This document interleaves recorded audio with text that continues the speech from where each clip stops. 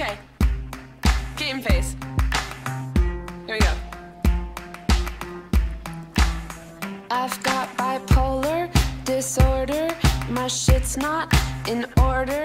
I'm overweight, I'm always late. I've got too many things to say. I rock mom jeans, cat earrings, extrapolate my feelings. My family functional, but we have a good time killing each other. They tell us from the time we're young to hide the things that we don't like about ourselves, inside ourselves.